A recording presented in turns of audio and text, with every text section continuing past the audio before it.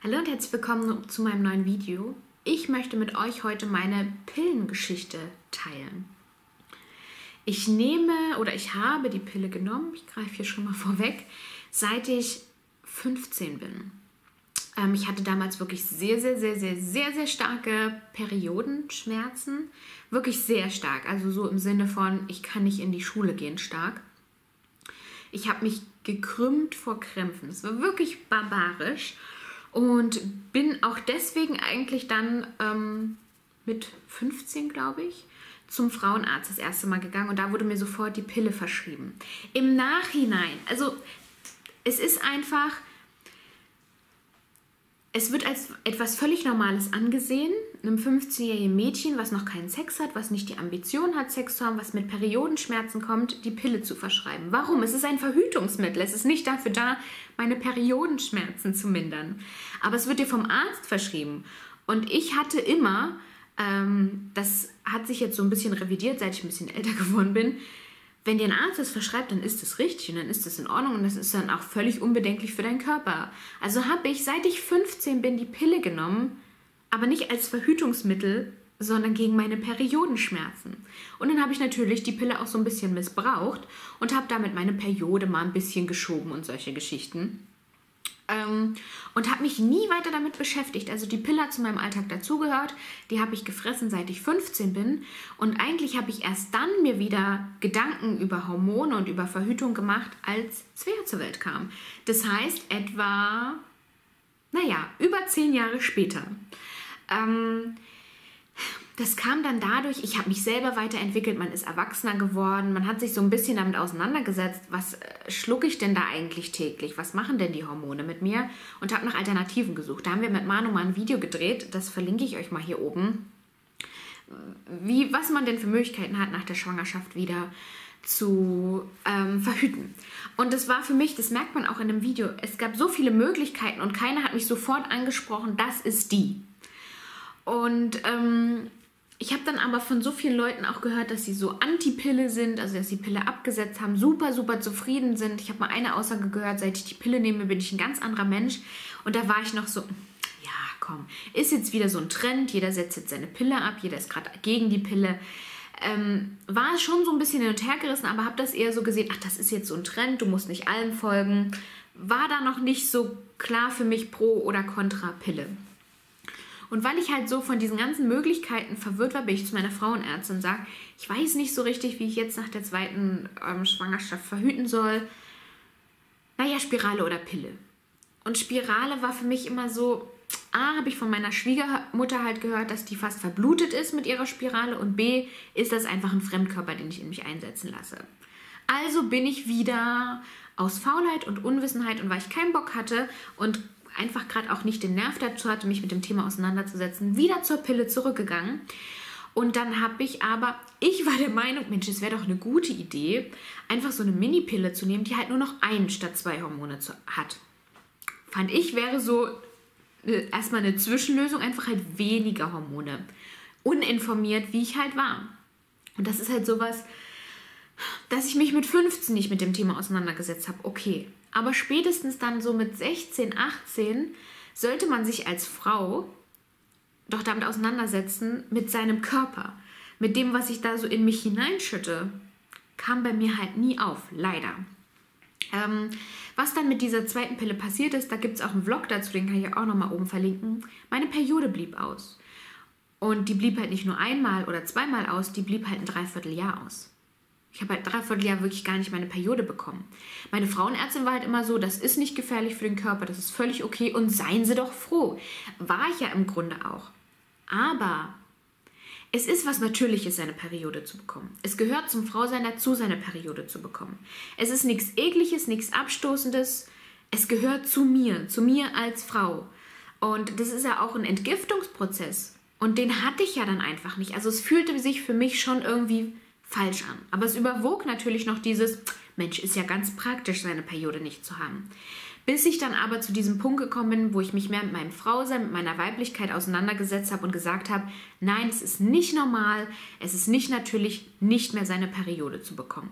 Und daraufhin habe ich dann auch ohne in Absprache mit meiner Frauenärztin die Pille halt einfach abgesetzt für mich. Weil es ist einfach so dieser Fakt, die werden dir immer die Pille aufschwatzen, weil sie ja daran verdienen. Aber das ist, ein Arzt hat für mich irgendwie, ich erwarte mehr von einem Arzt, als mir was zu verschreiben, weil er gut daran verdient. Ähm, und genau, dann habe ich, also es ist jetzt ungefähr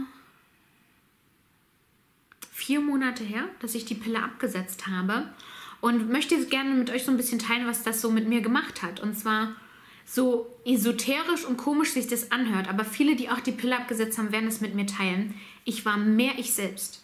Ich hatte das Gefühl, es wurde so eine Decke von mir gezogen, als wäre mit der Pille alles gedämpft gewesen. Sowohl meine natürlichen Gefühle, was Freude und Trauer anbelangt, war jetzt einfach wieder viel mehr da, als auch meine sexuelle Lust. Ich hatte wieder viel mehr Lust. Ich habe diese Unlust auf ganz viele andere Faktoren gesch geschrieben, aber nicht auf die Pille.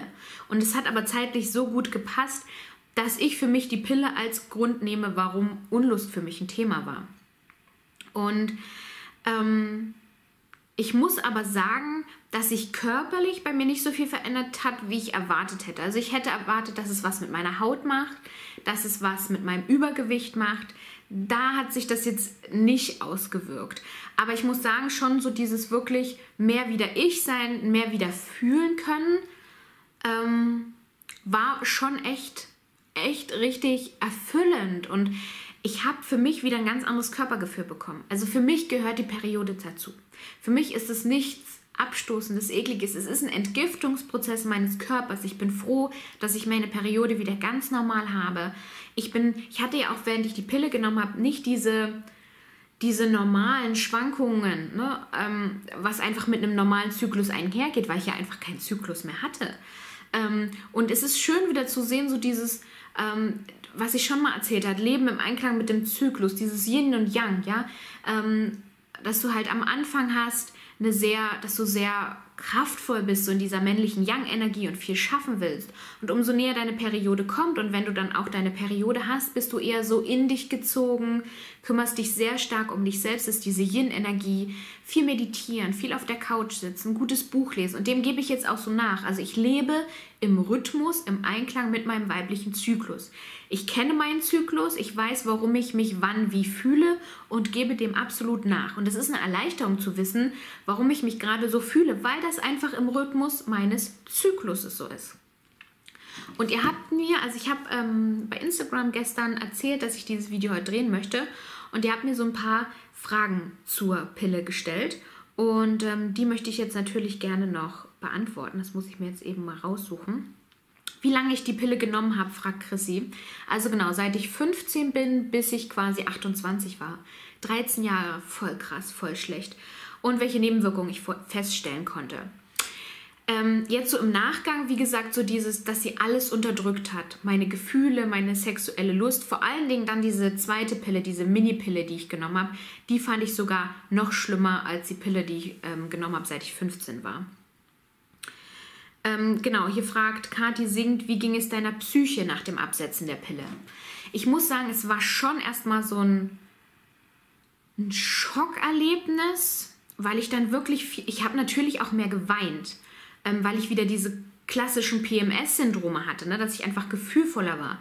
Ich kann mich aber auch viel mehr freuen. Ich kann ähm, viel mehr so diese Momente mit den Kindern auch genießen, weil, und also ich glaube, diese Beschreibung passt für mich ganz gut. Mit der Pille war wie eine Decke über mich gelegt. Und die, die, diese Decke habe ich mit der Pille abgenommen und ich war wieder völlig freier in so vielen Belangen. Also es ging mir jetzt nicht ähm, psychisch schlecht. Ich finde, das ist einfach was Normales, dass man auch mal traurig ist. Und es war eigentlich eher schön.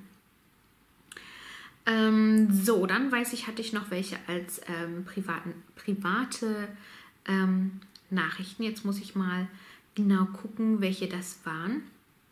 Das Thema hormonfreie Verhütung. Ist der Sex anders bzw. besser in einer äh, langjährigen Beziehung, wenn man hormonfrei verhütet? Ähm, ich würde nicht, mh, hm, also es ist so ein zweischneidiges Schwert. Ich sage ja, dadurch, dass ich mich jetzt hormonfrei ernähre, wollte ich gerade sagen, dass ich jetzt hormonfrei verhüte, hat dafür gesorgt, mich selbst als Frau besser spüren zu können. Und das hat natürlich Auswirkungen auf den Sex, Selbstverständlich hat es Auswirkungen auf den Sex. Wie gesagt, ich habe auch gesagt, dass die Pille meiner Meinung nach meine Lust unterdrückt hat. Hat natürlich auch Auswirkungen auf, auf, auf Sex. Also ja, schon irgendwie. Ich möchte aber in diesem Video nicht sagen, bitte setzt alle eure Pille ab. Ich möchte auch nicht sagen, Pille pro, Pille kontra. Ich bin so, ich finde, die Pille ist ein leichtes Verhütungsmittel ein gutes Verhütungsmittel. Es ist aber nicht mein Verhütungsmittel. Ich möchte euch aber noch ein Buch empfehlen, wenn ihr euch mit dem Thema so ein bisschen auseinandersetzen wollt und auch noch hin und her gerissen wollt. Und zwar ist es dieses hier. Freiheit von der Pille, eine, Unabhängigkeits eine Unabhängigkeitserklärung von Sabine Cray. Ist auch so, dieses Buch sagt auch nicht, absolut pro Pille oder absolut kontra Pille, sondern es informiert halt. Und das ist halt das Gute. Es informiert darüber, was macht die Pille, was enthält die Pille, wie ist das eigentlich so mit dem weiblichen Zyklus? Ich kann es ja auch mal vorstellen. Ähm, seit nunmehr 50 Jahren gilt die Antibabypille in Deutschland als die sicherste Verhütungsmethode. Würde ich auch so unterschreiben. Und noch immer wird sie als Meilenstein für die Emanzipation und Unabhängigkeit der Frau gefeiert. Was aber passiert, wenn man diese Selbstverständlichkeiten in Frage stellt? Sabine Cray räumt auf mit dem Mythos von der Alternativlosigkeit der Pille macht komplexe medizinische Zusammenhänge nachvollziehbar und wirft hochaktuelle Fragen zum selbstbestimmten Frauensein im 21. Jahrhundert. Sehr, sehr, sehr, sehr spannend. Werde ich euch auf jeden Fall mal unten in der Infobox verlinken. Schreibt mir gerne, wenn ihr weitere Fragen zu dem Thema habt oder auch schreibt mir in den Kommentaren, wie eure Pillengeschichte denn ist. Ich hoffe, das Video hat euch gefallen und wir sehen uns ganz bald wieder beim nächsten Mal. Bis dahin, tschüss!